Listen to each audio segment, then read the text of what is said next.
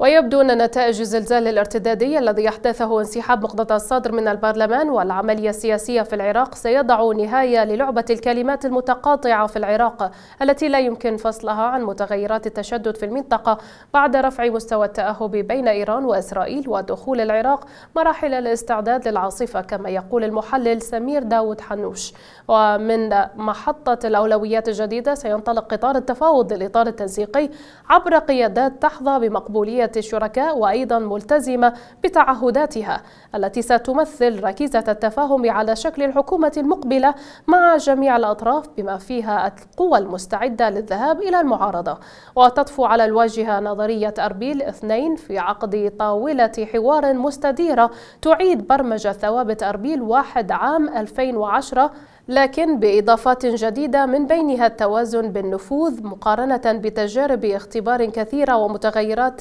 أشمل نتيجة تراكمات تجربة الحكم والنفوذ واللاعبين الجدد.